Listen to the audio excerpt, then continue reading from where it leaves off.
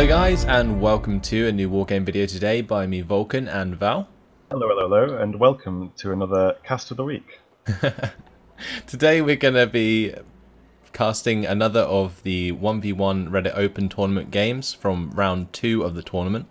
And in this one we're going to be seeing Dr. Dave Davey, also known as Captains, facing up against Putin. And it's said to be quite a, quite a good game. So uh, what sort of decks are we looking at today, Val? So we've got kind of the big two, really. We've got, um, well, the big two DLC at least. We've got Israel on the in Delta for um, Captains or Dave. And um, we've got Entente for Putin in Echo. And um, I'm sure everyone who plays Wargame knows that these have been some maybe a little controversial with how strong they were at launch some of these uh, DLC nations, but uh, very, very good. And I'm expecting to see some really crazy fights around Bravo in this one. Yeah, so we're on the map uh, Paddy Field. Um, how do you think uh, that will affect the play going into this? It's kind of an interesting one because both decks are so good in forests. Maybe maybe they might, or one of the players might just give up Bravo, for example, and go for like a Foxtrot push if it's captains, or you know maybe a push into Gulf if you're uh, Putin, because it's going to be, you know, you've got the Merkava 2As and all the cheap infantry and the the Bardlass and the Zeldas in Delta, and then you've got you know we we saw in the last game, um, just how good those um, OTs were, I think. Yeah, yeah, the OT60 MPBs or whatever they are, um, with yeah. the two recoilless rifles, incredibly strong for pushing through the forest there. But at the same time, you do have the the, the incredible armored APCs out of the Israeli side. Uh, so you got the like Zeldas, um, they're the sort of um, M113s with multiple machine guns are actually really good at suppressing enemy infantry.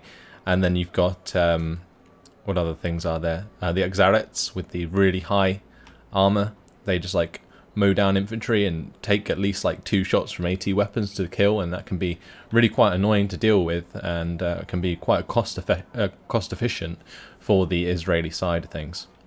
Captains is a man after my own heart. He's deploying some HVMSs, which they're not really that popular, but I really like them. They're little. Um, I'd say they're only good at one thing. They can't hit infantry because they have no HE value, but they're the ultimate anti like APC recon because they have really fast, accurate like high AP guns, and they'll destroy pretty much any like recon vehicle, like a BRDM3, for example. Uh, so I'm really happy to see some of those coming out.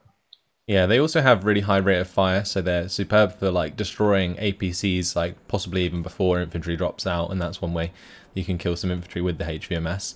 Um, let's see what else we've got here. We've got some Merkava 2As. Uh, these are uh, the tanks that can bring in infantry, the only tanks in the game that can do that um, which is uh, quite a powerful thing to have as an Israeli deck.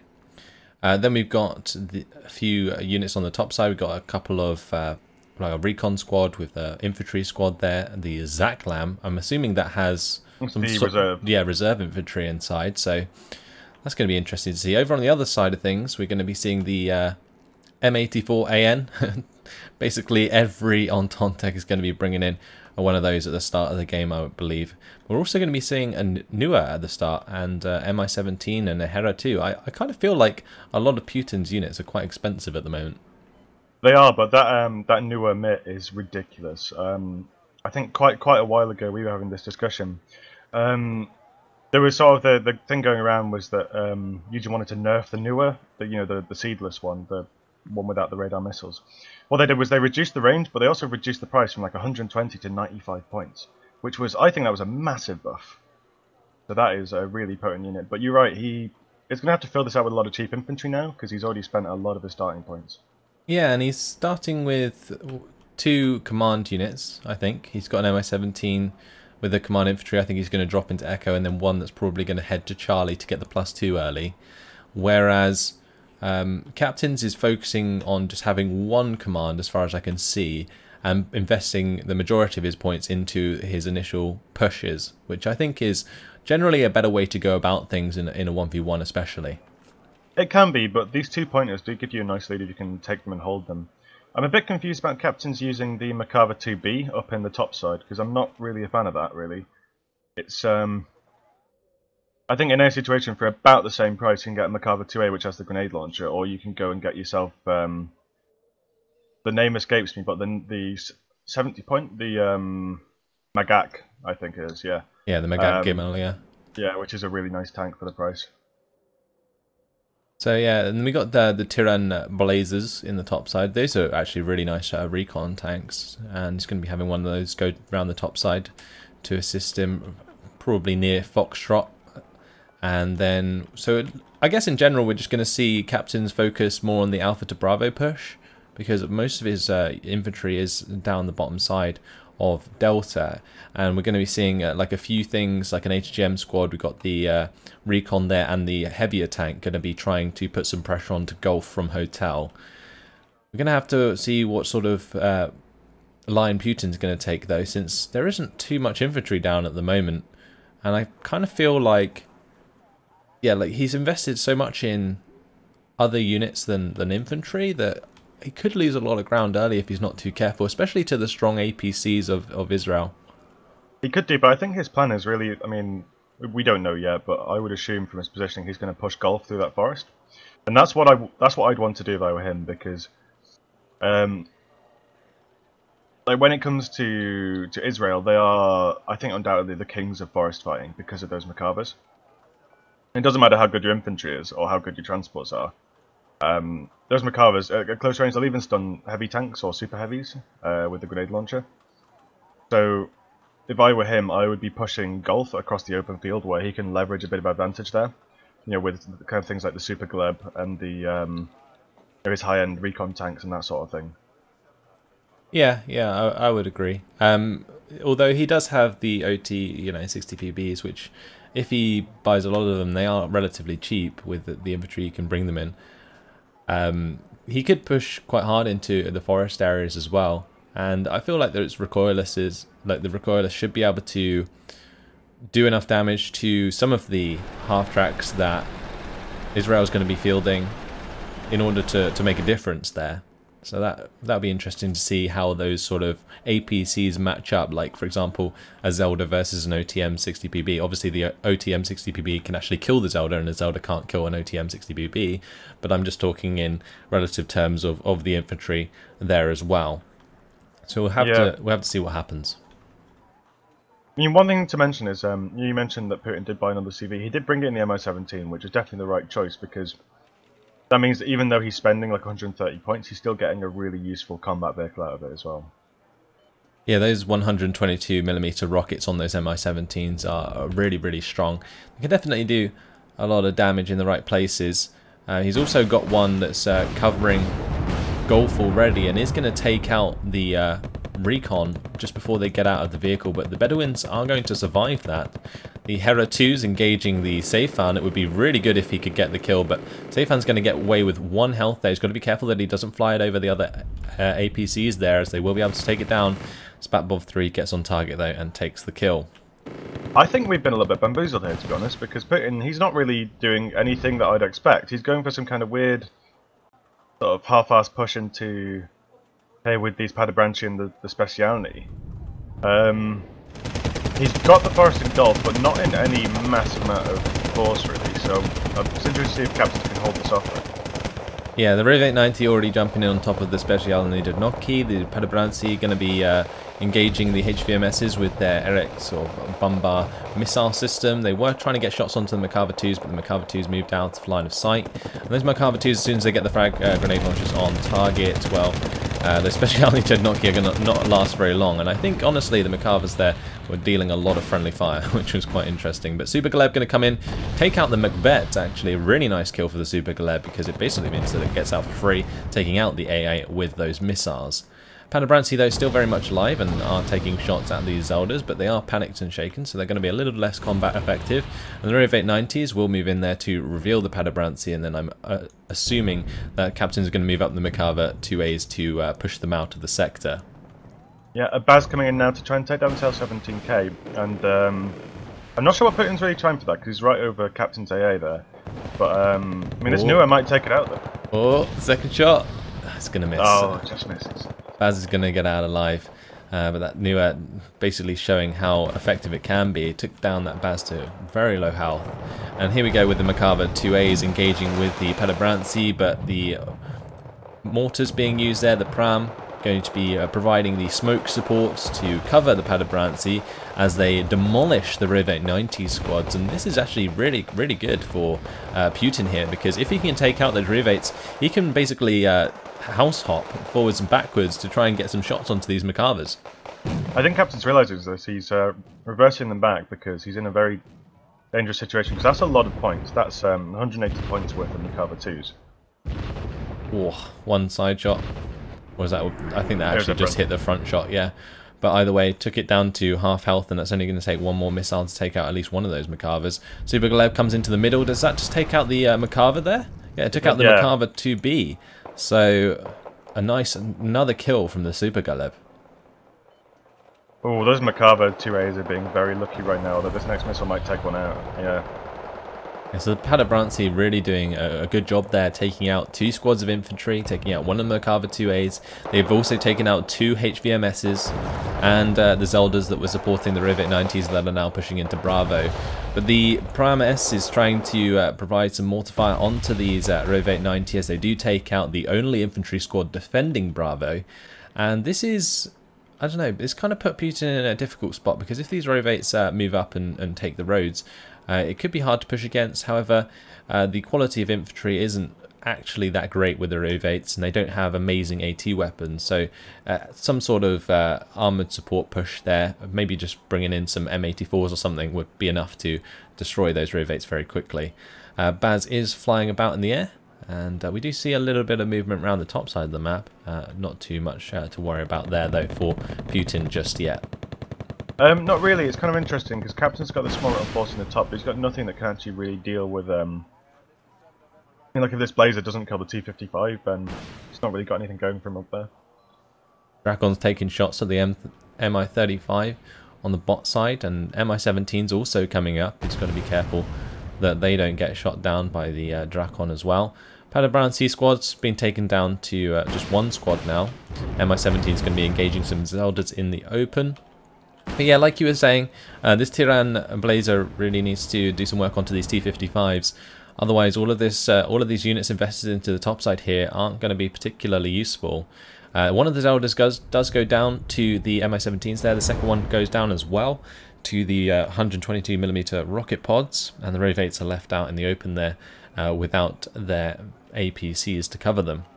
Now we've got some uh, reinforcing infantry coming in to defend at Bravo. I don't think one squad of Proletari, though, is really going to be enough to uh, help with uh, the Rovates unless he uh, manages to get the last of the Mi-17 rockets on target there. And he, what he might possibly do is wait until the Rovates uh, push to the edge of the cliff there, and then he'll have line of sight into the forest and be able to take them out. But Captains knows better, and he's going to move away from uh, that engagement and pull back until he gets his own fire support into position. So Paderborn there, going to be uh, falling back, but some Saklams uh, running towards them very quickly. These are the uh, just half tracks pushing those. Uh, Mi-35 goes down the bop side to the Drakon as well. And yeah, I don't know, not too much really significant happening and no big exchange in terms of conquest points just yet, but Putin holding the lead with 64 conquest points. It's quite interesting really, because Putin does actually control Golf and Bravo, but it feels like he's on a really tenuous position, even though he, he does have the advantage here. It's um, I think really he's on captains because Putin can probably keep spamming stuff out here to this bottom side all day to try and mash against him. But if captains can break through, and especially I think if he can maybe do a quick cheeky attack into Golf, which you know all he needs is what some smoke and two infantry units, and he can take it really. Yeah, he's still going to be still going to be careful of the Super Galeb. Um, he does have the Baz out, and L18 is coming in to uh, challenge that, I would assume. So that engagement is going to be an interesting one to watch because if he can take back control of the sky, the Super Galeb's going to be free to uh, kill any tanks that try and uh, move on Golf. But as you were saying, Putin controls the majority of the map at the moment, but it it's very yeah, very tenuous because his units are pretty damn weak at the moment. I mean, he's got a Proletary 90 squad, five man left control, uh, like holding Bravo. M84AN's trying to make some ground uh, onto the top there, but he's going to be challenged by the Magach. the bottom side of Alpha, the Padobranci aren't going to be long for this world. We do have some Miluim uh, coming in with uh, the recoilless rifles there to challenge the Padobranci. I'm not entirely sure why those are being used. I, I, we don't see them very often at all with the Israelis, do we? Um, not really, because to be honest, I don't know why you'd buy those when you could just buy buy the Robit 90s and the Zeldas for about the same price. To be honest. Yeah, so I, am guessing they're like, like just the um, you know the reserve infantry, but there goes a big air engagement. The Baz is actually gonna uh, survive there, and uh, the bombs was that some bombs came down, but the Baz is gonna go down to the newer as well. So, wow. That's uh, win for Putin. So, captain's brought in a um, a Kurnas, and that went down to the ASF, and then the Baz killed the ASF, I think, and then the the newer killed the Baz. So. Yeah, so Captain's losing out there, losing two of his planes to one. And that's interesting because it now allows that Super Galeb to do work again. However, the M84's dealt with the Magach quite nicely. The Dorban LR is going at the uh, M84 with its Spike LR HGMs. Hovitz managed to get onto the Mi-35 there briefly, but the Mi-35 might just move out of range in time. The Bazaks moving forwards with their Red Eye to try and get the uh, last shot onto the Mi-35, but that Red Eye doesn't have much HE value at all, so it the wouldn't have been enough to uh, kill off the Mi-35 anyway. It's honestly terrible. I don't know why you'd bother using it, because you probably need about 10 of them to actually hit something. Um, I think you're much better off going up for the... Um... Oh, check out the back. Special oh. Noki getting into uh, the Hapak there. And uh, that's going to be absolutely tragic if uh, Captains doesn't buy another command quick enough. Especially on the Jednotki sneaking all the way around the back. Well, that's just uh, done the job there. As now what's going to happen is the Achzarit is going to have to be pulled back from Hotel uh, towards Delta. And uh, the plus three is currently going in favour of Putin. It's not just a plus three as well. In such a tenuous position where both sides are kind of a little bit reeling, a little bit low. I mean, Putin does have a bit more in the front line now, but that's hundred points gone. The captain's going to have to buy because he can't he can't set at minus two uh, for any period of time, and Putin is really sort of establishing dominance. Really, I think with that because what that means now is he's got another hundred points to play with. The captains will have to purchase. Um, he can bring even more stuff up, and captains is already really behind in alpha. And look so, what's happened to the Achzarit. it's got detracked for another minute, which is actually quite a big deal because that's quite a lot of points that are going to be ticking up. And he can't bring in another command until that Achzarit gets into Delta. So this is just horrific at the moment. I can't imagine what is going through Captain's head. That must be so annoying, moving through the forest there and getting an Achzarit tracked, even though it's like a tracked vehicle. it's just look at how, look so how close funny. to the edge that is. It's literally like about a meter away from the edge of the forest as well. He got the track. Yeah, that's crazy. Uh, these special effects that can happen in um, in Wargame, and uh, and the whole time that this is happening, and the whole time that Delta is not captured by captains, uh, Putin's reinforcing the front line and is going to have consistently more troops available to fight than captains, and captain's just going to continue to lose more ground until he can bring in some reinforcements. And this is longer than uh, than a couple minutes that this Achzarit's not doing too much. And at the moment, the Achzarit's okay. It's um, just come back. It's, it's managed to fix its track there in a in a minute record time, and. Uh, now he's now Caps is trying to deal with especially Alni Jednotki in order to be able to bring in another command. But this is absolutely this is absolutely uh, critical to this game. That was a, a big old play there, taking out the command, and, and that command just ruining uh, Captain's life there with the D track. So, yeah, not not gone well at all. I think he's kind of he's made himself known in Delta there, but yeah, I mean a big thing as well that you have to think about is not only is it the the points difference and the time difference, but there's also the amount of time it takes to get from um, kind of Delta to Alpha.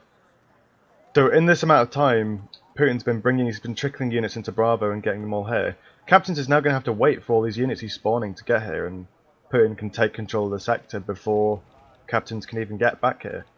Uh, I do have to question why Captains had his CV just sitting out in the open, especially an infantry CV, so a bit confusing. Yeah, he probably should have had it in one of the buildings at least so he could jump it away. But uh, there we go.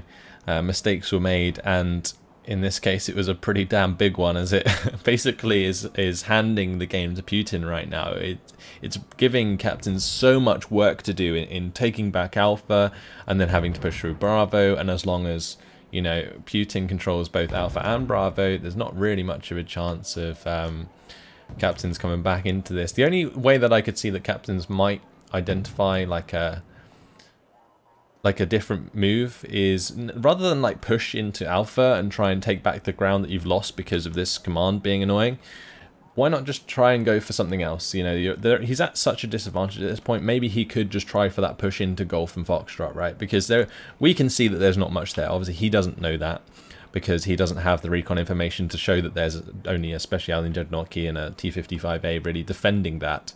Um, but if he just went when at it with any sort of force, he could possibly try and turn the map on its side and give him time to start defending from Delta, which is significantly easier across that uh, open field from Alpha. So if he could take control of Foxtrot and Golf, he could just swing the, the map on its head. But still going to take time, and it's time he doesn't really have at the moment. He's got, well, he's got, there's 25 minutes uh, left on the map, but he's got to be careful that Putin doesn't start investing in command since he's had the time to bring in all of the troops he needs.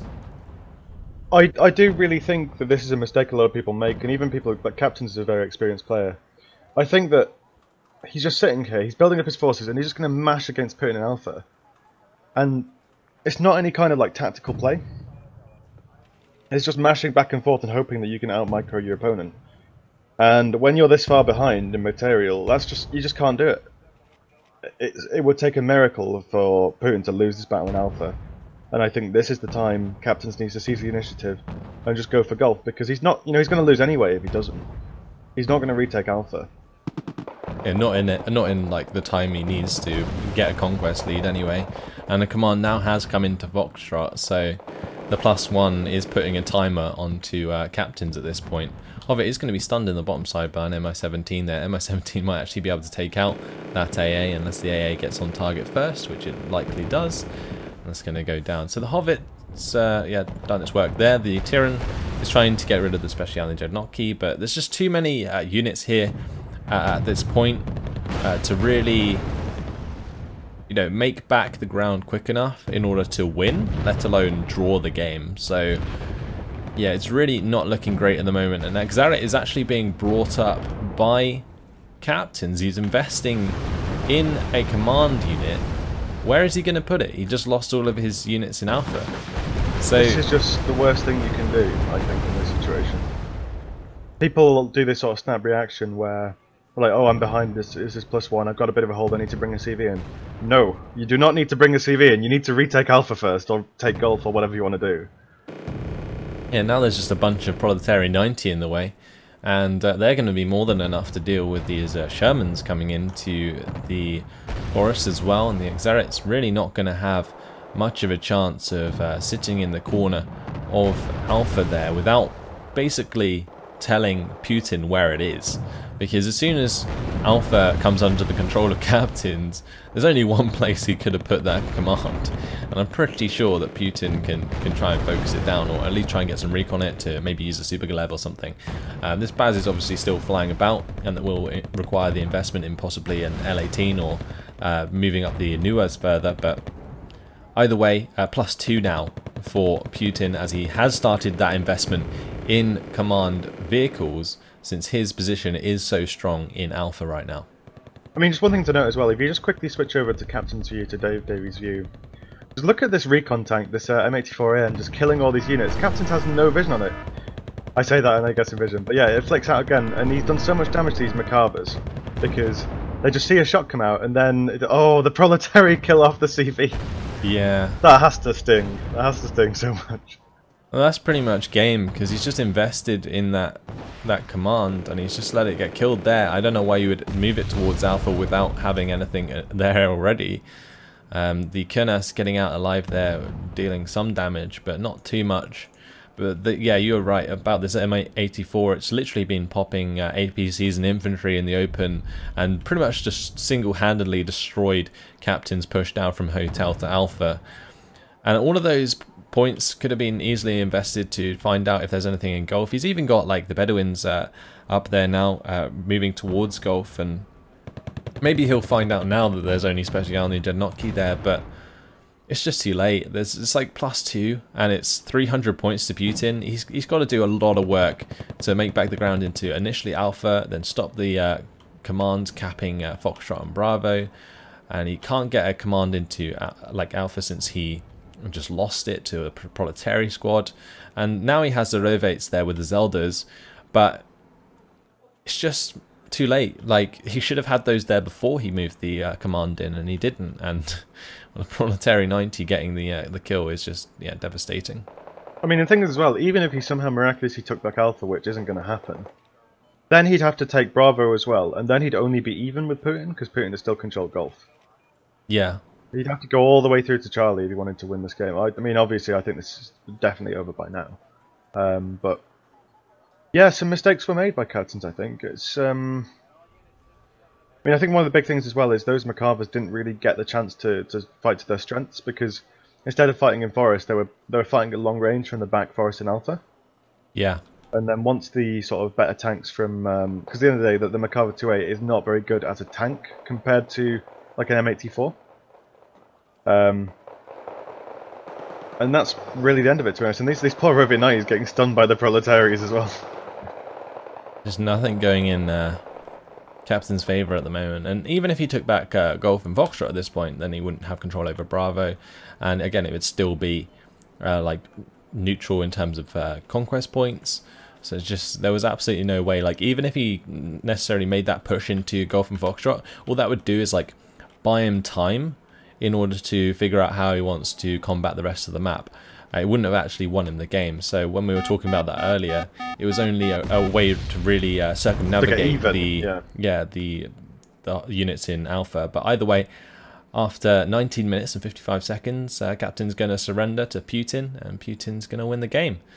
So, uh, pretty likely outcome there after that command play, and I pretty I'm pretty sure that pretty that set the tone of the game. Uh, after that happened, um, Putin getting a lot of kills, 1,810 kills to 1,060 losses. What did you think of that, Val? I think this is like a prime example of, um, you know, I, I feel bad for captains for this, but of what not to do when you're losing a sector, I think. because, I mean, obviously it might have been a bit easier for him if he hadn't have lost that CV. Uh, I mean, there's another one. Don't put your CV, your infantry CV, out in the open, just in a random field. Um, yeah, just very strange. Um, and then sort of just trying to trying to match his head against Putin in Alpha. He was almost like on a conceptual level. I don't think he was ever going to come back in that game just because of the way he was trying to play it.